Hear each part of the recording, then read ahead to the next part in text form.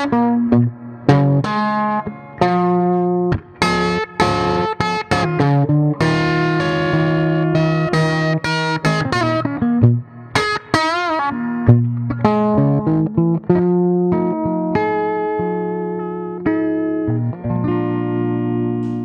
guys, it's Richie from Fret Junkies, and uh, it's been a long time since I've sat in this chair or felt inspired to do so.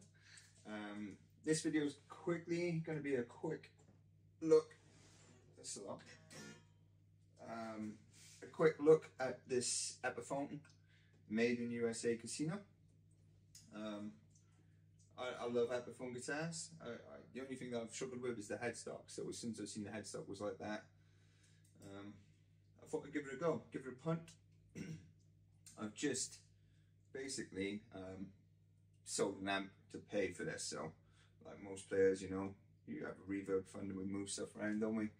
Um, and this came up. This is a this is got demo stamped on the back of the headstock.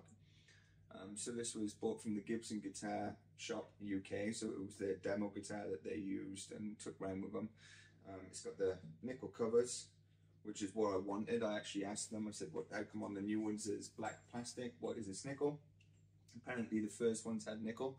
So I know this is an early model. I've not really looked too much at the serial number. Um, it feels great. Um, I'm at a stage in my playing now where I don't lie to myself anymore.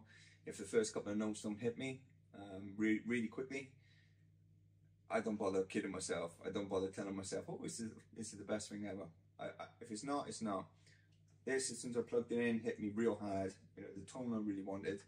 It feels really comfortable. It's small and it has the hollow body honk that I love. Um, it, it's the it feels like more compressed this way. I think uh, I don't know if the scale length is shorter or it's set at the neck different, but it definitely feels like if you wanted to access the higher frets and shred, it's going to be a bit difficult. Um, but if you just, you know, if you're not bothered about getting all, all the way up there, it's perfect. It's got a beautiful, airy acoustic tone to it that comes through the electric tone. Uh, I'm not going to waffle on too much. The pots on this are just incredible. Um, they work all the way through. That was one of the things that used to gripe me about some of these, even the me, you know, inspired by um, line that they did. The pots kind of went from zero to hero really quickly, and the in between was quite difficult to find. This this works all the way through. You can do the woman tone thing, and you can bring it on, and you know you can smash those up a higher um, frequencies when you open it right up. Um, the volume and, and tone pots are really really responsive and the pickups are just fucking incredible. Um, good pickups and a good amp. That's the ticket. Everything else is secondary tone wood and all that wank. Is it's there, but you know, the the the engine is your pickups and your amp, which leads me on to the amp. The amp I'll be using today is this Tweed Princeton clone. I'll probably try and add some B-roll in and be clever. I ain't got time to do the big videos like I used to. Um, it's this Tweed Princeton clone this thing is the most honest amp I've owned. You see the vibe here, that's, there's no getting away from that clean tone, but this thing is just magical. It's got a volume and tone, um, which the volume does what it wants, and the power button doesn't work on it. And, it, and it's fucking hick, you know, it's kind of a bit beat up, and it was made, I got it from a guy called Robin Wood, Robin Wood on eBay, who makes stuff from old stuff. So all the parts are collected he's made. I've just dressed it up in the way I like to dress it up. And yeah, I'll just be going straight into the amp. So what you hear, with a little bit of reverb, sorry, coming from the Holy Grail. So what you hear will just be honest guitar tones. Um, I'm not going to do a roll through the pots video on this. I'll probably do that coming, going forward. Um, I'm just going to play a bit, man, um, and kind of get lost in the tones. Um, it's been a while since I've sat down in front of the camera. You know, life's got really busy for me in the background. I'm sure you don't hear all that shit, but um, I'm inspired to play again. I'm slowly rebuilding my stuff back up to play. And um, it feels good to be sat here in front of the camera again. So if you've made it this far, thank you. And uh, let's get into the tones. This is Richard from Fret Subscribe.